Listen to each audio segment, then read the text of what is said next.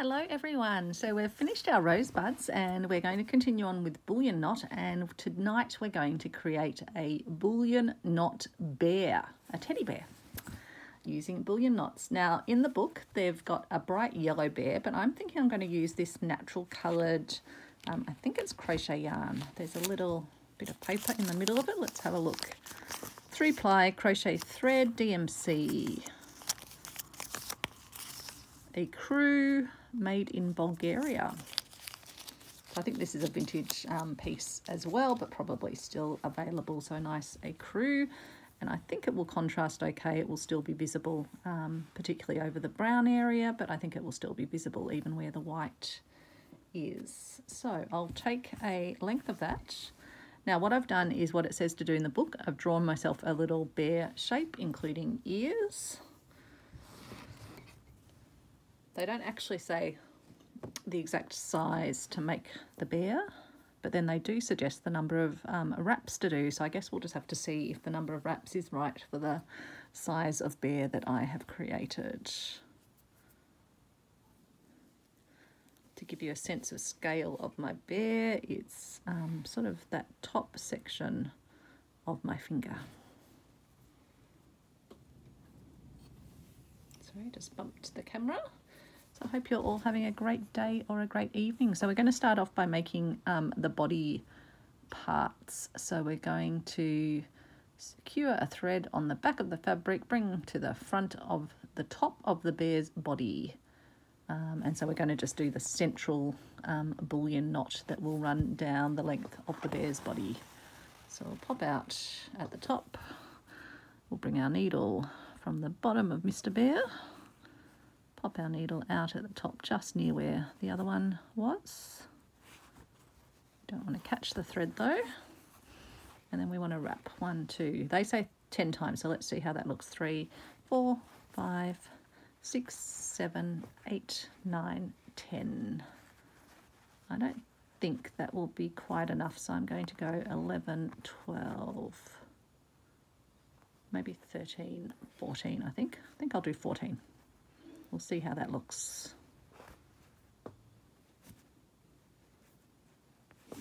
And I think in the book they're doing silk thread, but this is just a, a regular cotton. Save the silk thread for the stuff where I've done my practice with a, a cheaper, cheaper thread. And then we're just going to anchor down our little bear and we'll see how we think the 14 um, twists look. I think that's pretty good because it's actually covering the, the length nicely and giving me a nice little bulge, but it's not curling around too much. Um, and then I'm going to work um, bullions either side. And so they're suggesting 11 wraps, so they've increased by one. So I'll probably increase maybe by two with mine. So what did I do? I did 14. So we'll do 16 here, I think. 16 laps. 1, 2, 3, 4, 5, 6, 7, 8, 9, 10, 11, 12, 13, 14, 15. 15, no, we'll go 16. See how that goes. Let's live on the wild side, hey?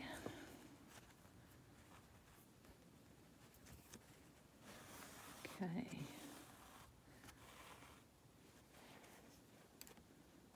There we go.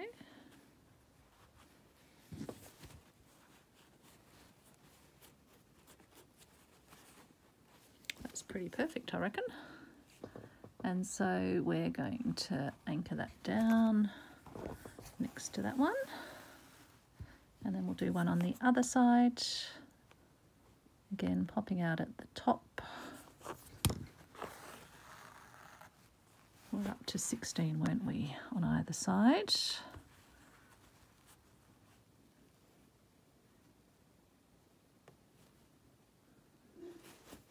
Again, when you pop out, just make sure you're not skewering any thread anywhere because that will make it hard when you come to, oops, sorry, just bump the camera.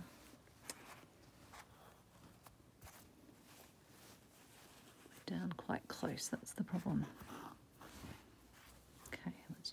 Thread where it needs to be and then one, two, three, four, five, six, seven, eight, nine, ten, eleven, twelve, thirteen, fourteen, fifteen, sixteen. There we go.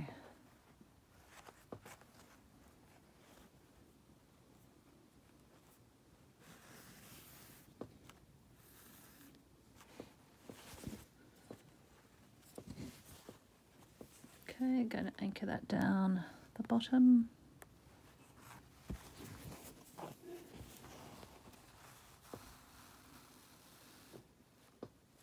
And then they're telling us to do some seven wrap bullions on either side for the rest of the body. I'll just start it from slightly graduated down. So it does help having that little drawing there because it sort of gives you a bit of a guide for where to where to start your your wrap. So they've said seven, so maybe we'll do nine. One, two, three, four, five, six, seven, eight, nine. Is that nine? Maybe I'll do ten. I'll do ten, I think.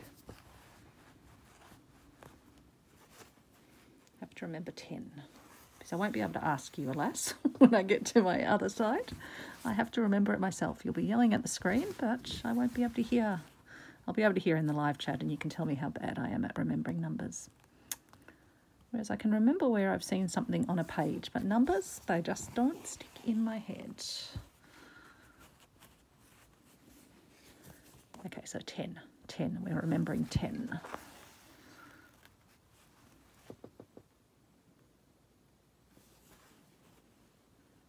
Bring the needle through, popping out just just near the top, but not right where the other stitch is, and then 10. We can do this. One, two, three, four, five, six, seven, eight, nine, ten.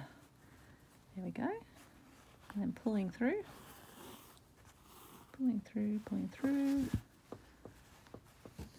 And then we anchor it down at the bottom.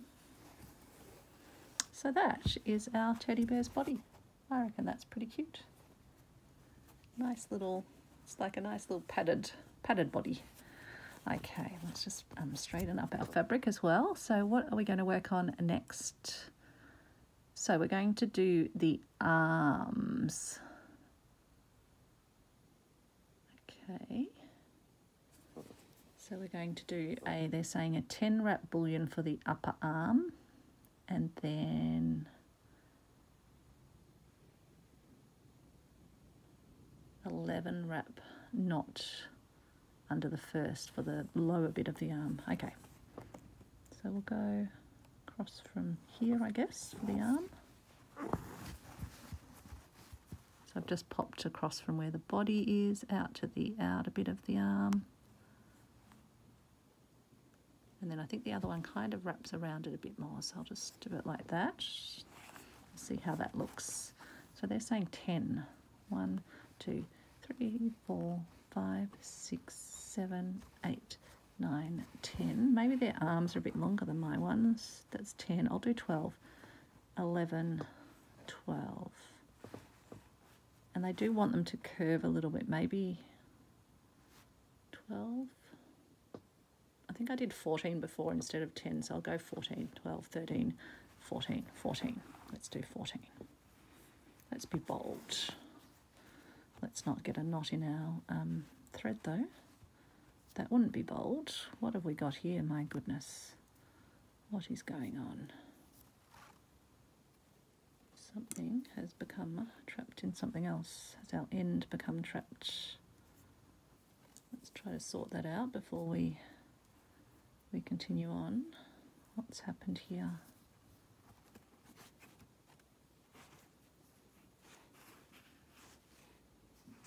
I think we've got a little problem, folks, but let's see. No, maybe we don't. Maybe all is okay. All is not lost. No, it was just having a little having a little moment. Okay, so our wrap has become slightly slightly mangulated, but let's see if we can just fix it up with the needle, just get it to sit where we want it to sit with the needle, which I think we have. So never fear, never fear, never fear. Okay, so that's the one little bit of an arm. I think that's quite good. Then their arm sort of then just comes from the other side of it, like that. I guess we just bring it over from closer to the body maybe. And they made that slightly bigger. So we were doing 14, so maybe we do 16. 1, 2, 3, 4, 5, 6, 7, 8, 9, 10, 11, 12, 13, 14, 15, 16. Yeah, give that a go. Okay if it's a bit bendy because it does have to kind of wrap back around. And just easing it. If it gets a bit stuck, just try and sort of keep keep a grip on. Still something trying to there's like a little knot I think in um, my thread. So I'm, I'm going to attend to that once I've got this one in position. So I'll just pop it down I think a bit more up there so it gets just positioned just right there's the little little arm made up of two two little bullion knots now I'm going to attend to my thread because what's been causing the problem is it's just got a little cross over here. So that's why it caught both those two times, but that's now fixed. So let's do the same on the other side. What were we doing? We were doing six, 14 and then 16, that's right.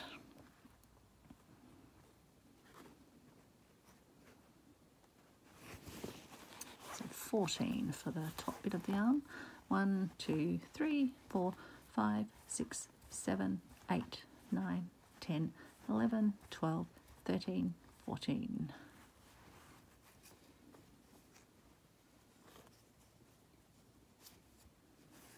Holding on to our loops as we pull them through. And then there we are, and we're going to anchor it down at the end of the arm. It's like a little muscle bear, got lovely little muscly arms um, and then we'll sort of bring it back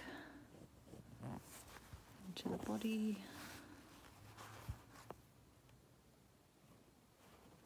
like that. Then we were doing 16. 1, 2, 3, 4, 5, 6, 7, 8, 9, 10, 11, 12, 13, 14, 15, 16. It seemed like quite a lot, but I think it'll be okay. Okay, sliding the needle through, keeping hold of our little, our little loops.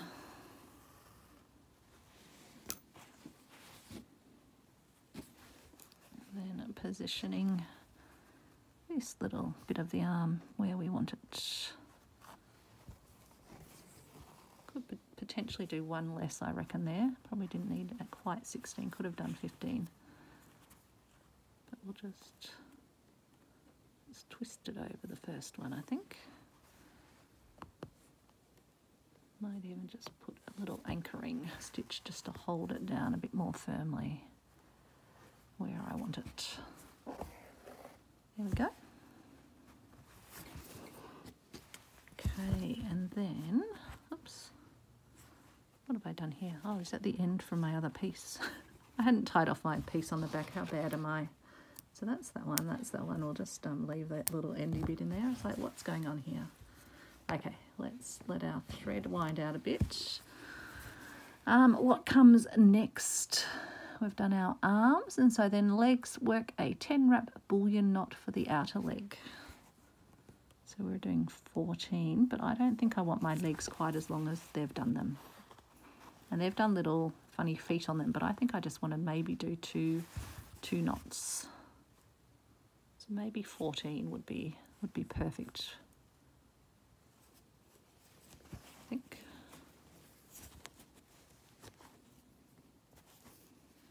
one two three four five six seven eight nine 10, 11, 12, 13, 14. Let's do that. So yeah, their legs in their picture are definitely longer, and I don't see I don't see my teddy bear looking like that.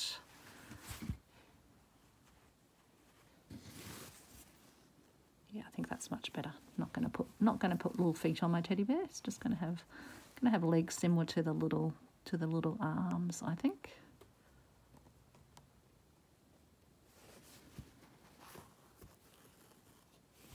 Oops, I've unthreaded my needle. I think we're almost getting to the end of this bit of bit of thread, but we'll see if we can get one more one more stitch out of it. Okay, and one, two, three, four, five, six, seven, eight, nine, ten, eleven, twelve, thirteen, fourteen.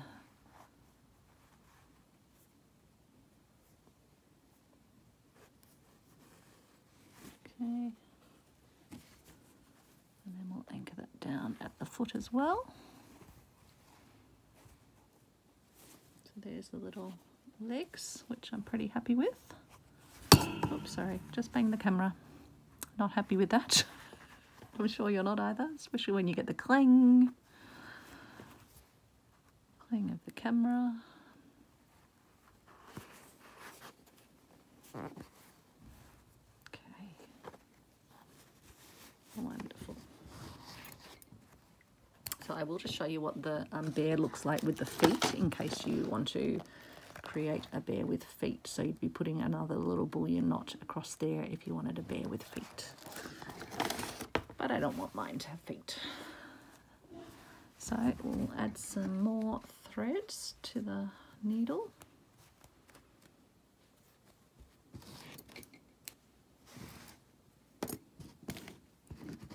Okay, and just off camera. Got quite a long piece of thread, but hopefully it doesn't knot or anything on me. Tying a knot. And then we'll do the other leg. So we'll start with the outer bit of the leg. And we had 14, wasn't it? 14 was the magic number down here.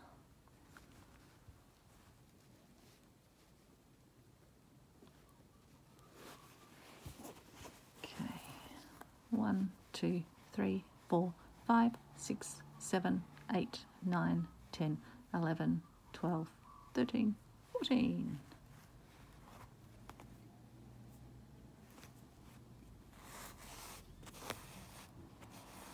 There's our 14 to make the teddy bear's legs.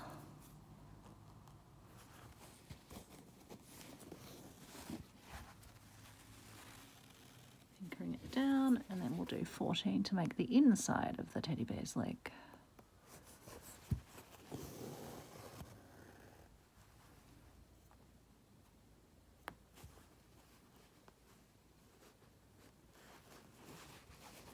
Okay, one, two, three, four, five, six, seven, eight, nine, ten, eleven, twelve, thirteen, fourteen.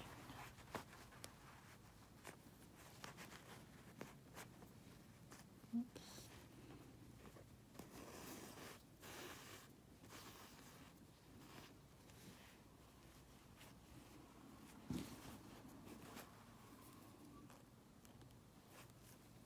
and then anchor that in at the bottom. Oops, my thread just looped around my bullion knot. Don't want that. There we go. Yeah, those look great, I reckon. Now, onto the head. So let me bring the book down so we can have a look at what we need to do to complete the head. So for the head, we're going to put a um, six wrap bullion or approximate across the top of the body and then we're going to add two seven wraps, so slightly wider, and then a six wrap um, bullion knot working up, and then some little bullion knots around for the ears. So let's do that together. So we're going to put a approximately six just across the top of the bear's body here. Let's see what distance we need to, yeah, to cover that in.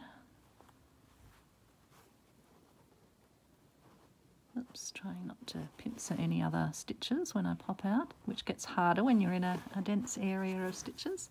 One, two, three, four, five, six is what they're suggesting. I might do seven, eight. I think that should be okay. Because it's not too, too wide across that bit of the body, I don't think. That's pretty good, I think.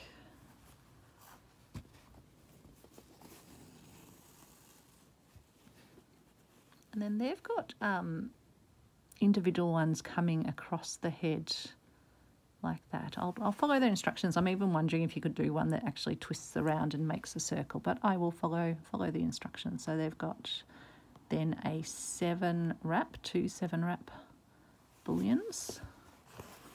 So I'm just popping my needle slightly above where we just did the last line, slightly wider, popping it out, and then we'll do the seven wraps. One, two, three, four, five, six, seven. How does that look? Maybe eight.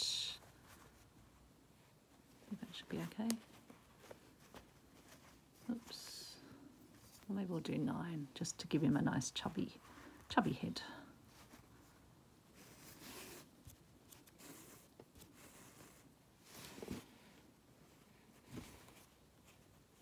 Yep, and then we'll anchor that down on that side. And then do another one of nine. Or maybe I'll do eight just so it's starting to graduate in a bit.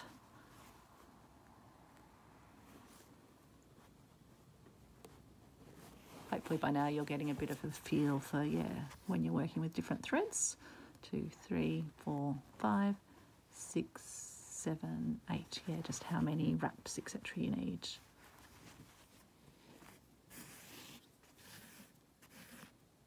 It's good, you can kind of have a look on your needle and go, does that look about right? Yep. So yeah, that's nice. It's just a little bit further indented in and then we'll do a final one. So that was seven, was it? So they're saying, yes, six wrap to complete the head.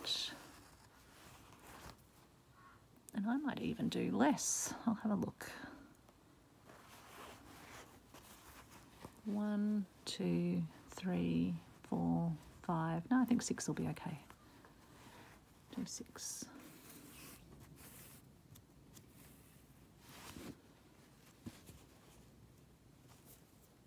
Don't want to give him too pointy of a head. and then what are they saying for the an eight wrap bullion on either side of the head for the ears because that does have to wrap a little bit more around. So about here. And then pop just slightly over so we get that nice little ear shape. So I'm just pincering either side of the ear, if you can see there, it's quite small. And then one, two, three, four, five, six, seven, eight is what they say. Nine,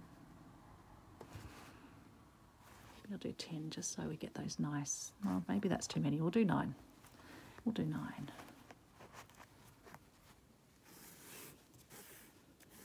Just want to make sure we get that nice little twisty ear effect. So we'd get that by just bringing it back down so that it twists on itself when it gets pulled through. Probably could have even done more, but I still think that gives us, yeah, that definitely gives us a little ear effect.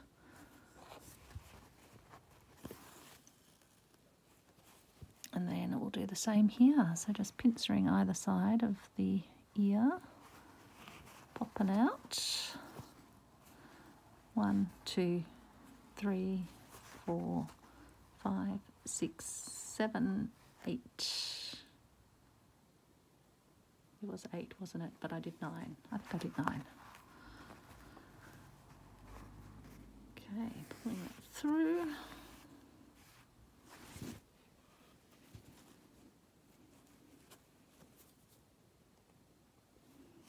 And then just bringing it down so we get that nice little curved, cute little ears. Look at those ears. I think they're my favourite part of the bear. And so they then suggest we put a face on. I always think faces get really, um, you sometimes take away the, the pleasure of a piece when you put the face on because it's hard to get faces in stitching, particularly human faces, um, to look humanistic. But maybe teddy bear faces are a bit different. So we'll give it a go. Now, where have my scissors gone? Ah, there they are. They were hiding. They were camouflaged under the cotton. So um, it says a black thread, but I might use a blue because we're using blues on here, and I've got a bit of bit of blue over here and a bit of blue over here. Use this one.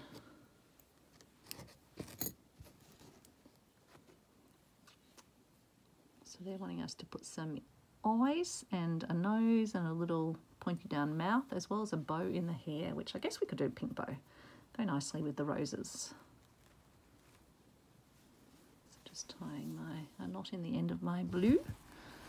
Okay, let's see how we go. Can I do delicate stitching on here? Let's start by um,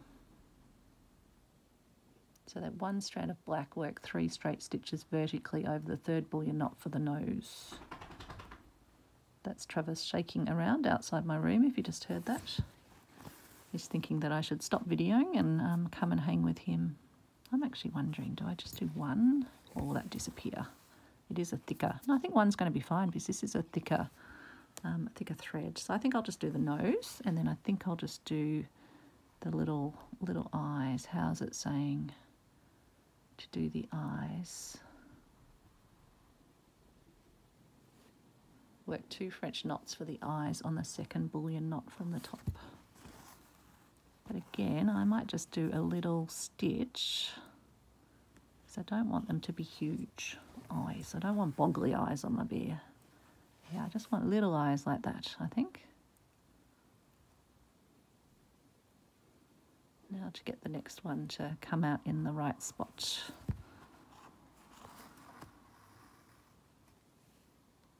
That's good. When I pulled that thread, it actually sort of um, went a bit more inset, more like one of those little teddy bear eyes set into the fabric. I can always just pull them out a smidge, but I want them a little bit inset like they are. That's pretty cute. It's not over, not overdone. Um, and then they've got a little bow in the hair, so let's have a go at doing that with our pink. So I'll just tie our blue off while we're here. Oops. Do need to clean up my craft desk. It's it's out of control. Threads everywhere. Okay, I've got a pink here that I can use that's a loose thread. Yes, I do.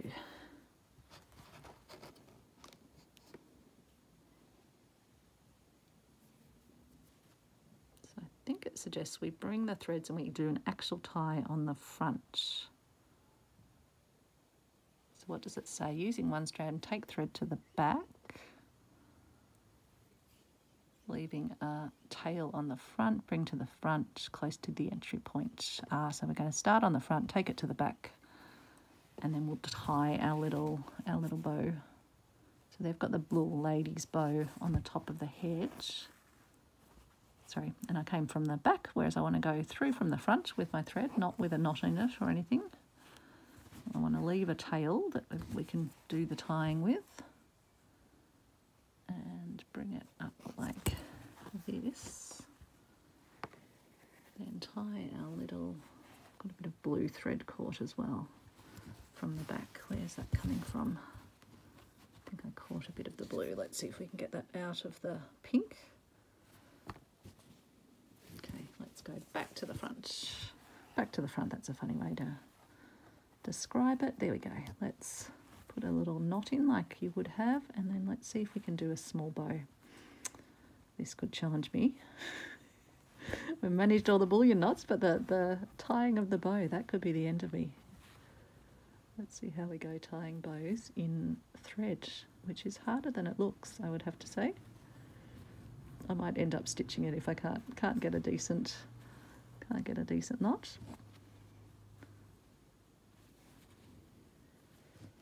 Don't want to do it that big, so I need to make it a bit smaller and then I need to hold it and just pull the pull the little bits tight, I guess. If I can, with my needle. So I'm just using the needle now, holding the center and pulling pulling the little the little ties.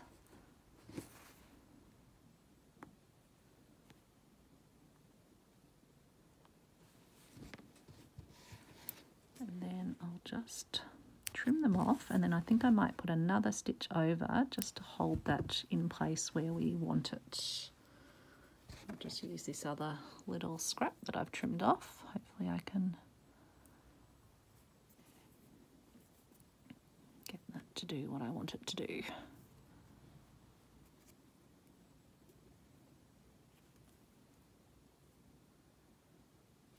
Okay, so I'll just pop through from the back. Oops. Unthreaded my needle and that knot's not big enough on the back. We will get there, folks. We will get there.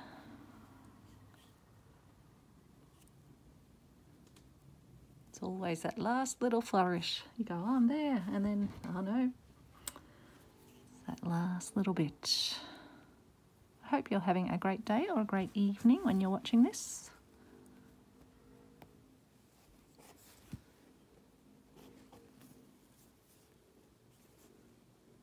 Hopefully the bear's been a nice, nice change from the the roses. Hopefully you're not all bullion bullion stitched out. There we go. So that's just stitched down so that now won't won't move away. So that's my little teddy bear. I can probably still bring the eyes out a bit more. I might have made them a smidge inset. Just use the tip of the needle just to pull the thread a little pull so they just sit a bit more forward. There we go.